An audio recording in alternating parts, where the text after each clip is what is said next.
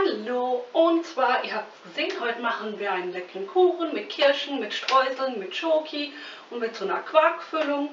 Und ich habe hier erstmal jetzt nur die Zutaten für unsere Streusel bzw. den Boden. Machen wir die erst und dann machen wir die Füllung. Und ich würde sagen, wir legen direkt los. Und zwar, ich benutze wieder die kleine Springform.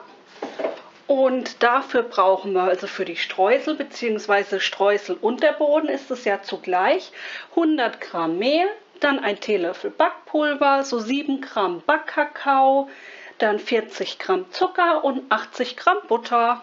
Und das machen wir jetzt. Und zwar, da gibt es eigentlich gar nicht viel zu sagen, außer alles rein in die Schüssel und dann einfach zu streuseln, verkneten. Zucker,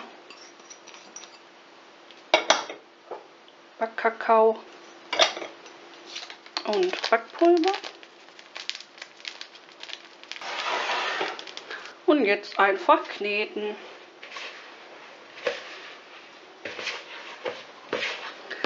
Und wenn wir das dann soweit haben, hier haben wir jetzt unsere Streusel, können wir so die bisschen mehr wie die Hälfte vom Teig in die Schüssel geben. Oder in die Form, besser gesagt. Ich glaube, das mache ich so. Und jetzt einfach schön Boden drücken.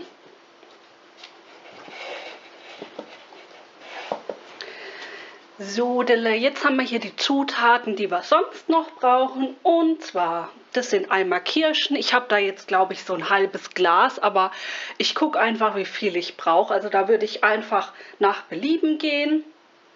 Dann brauchen wir 40 Gramm Butter, 50 Gramm Zucker da hinten, dann ein Päckchen Vanillezucker, dann etwas Zitronenschalenabrieb, zwei Eier, die habe ich hier auch schon getrennt, dann 150 Gramm Quark, dann brauchen wir noch ähm, 10 Gramm Stärke und ein Esslöffel Grieß, etwas Salz und dann einfach noch Schokotropfen und das war's.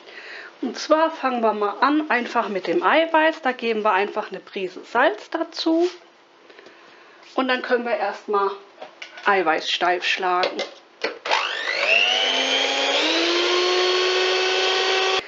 Wenn wir das dann gemacht haben, können wir das, die Eigelb hier in ähm, unsere Schüssel geben. Dann Butter dazu. Dann den Zucker. Und Vanillezucker. Und das Ganze erstmal schön verrühren.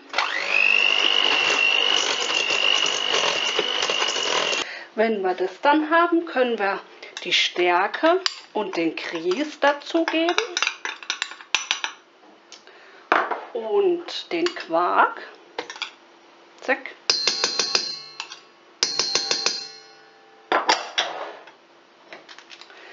Und Zitronenabrieb.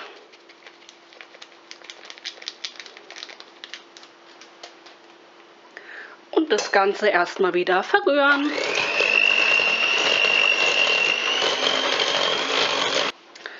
Und jetzt können wir dann eigentlich auch schon nach Belieben die Schokotropfen oder Tropfen dazugeben. Ich glaube, das reicht.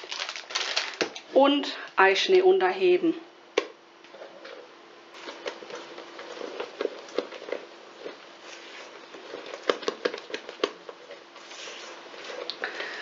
Und jetzt schichten wir das einfach schon zusammen. Unseren Boden haben wir ja schon. Dann geben wir jetzt hier unsere Quarkmasse dazu. Dann können wir die Kirschen dazugeben. Wie gesagt, das ist halt auch wieder Geschmackssache. Dass die einfach jetzt mal so reinblöpsen, dass sie sich so ein bisschen rein drücken. Und dann zu guter Letzt kommen dann unsere Streusel drauf.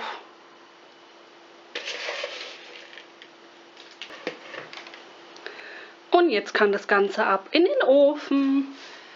So, und schon sind wir wieder fertig. Also der Kuchen war jetzt bei mir so 70 Minuten im Ofen. Allerdings nach einer halben Stunde habe ich dann ähm, etwas Alufolie drüber gelegt, sonst wird da oben zu dunkel werden. Aber ansonsten gibt es nichts zu sagen. Der ist eigentlich echt total einfach, schmeckt total gut und ich zeige euch wie immer aus der Nähe. So sieht das Ganze von nahem aus. Hier ist der Rest. Dann macht's nach, lasst es euch schmecken und ich hoffe, wir sehen uns wieder beim nächsten Mal. Tschüss!